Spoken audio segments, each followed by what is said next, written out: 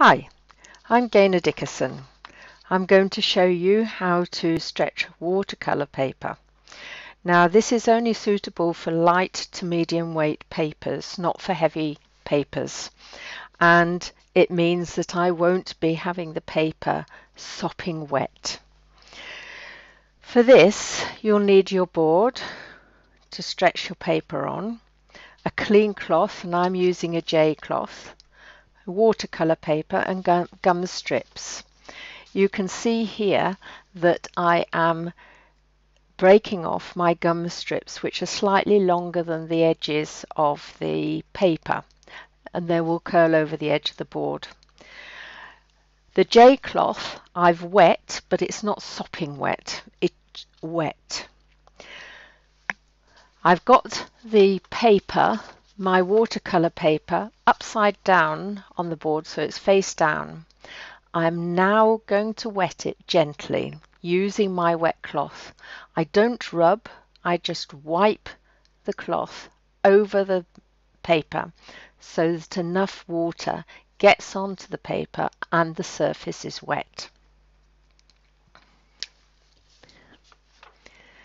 When this is done, I turn over the paper place it on the board and you can see already it's curling just slightly. And then I'm going to wet each of the strips, making sure I've got the right strip on the right edge.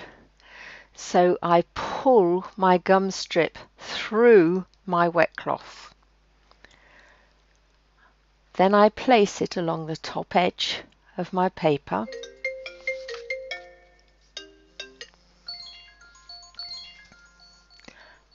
And I use my cloth from the middle and going out to the edges to wipe over the gum strip. And then I tuck the gum strip round the edges of the board. Now I'm going to do my long strip.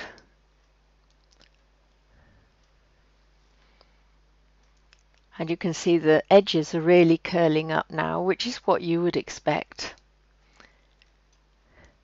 and again I'm using my cloth starting from the middle and going out each side and curling the gum strip round the edge of the board.